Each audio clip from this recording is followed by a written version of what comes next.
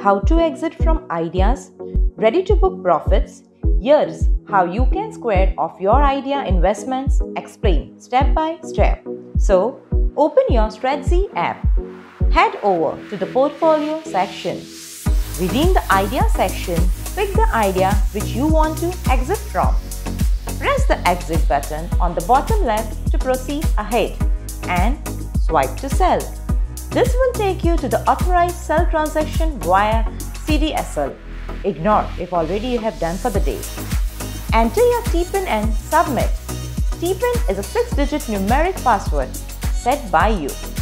At the next screen, enter the OTP received on your registered mobile number or email ID and click on Verify.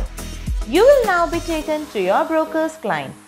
Click on Place Order to approve the transaction and voila! You have booked your profits using Stratzy.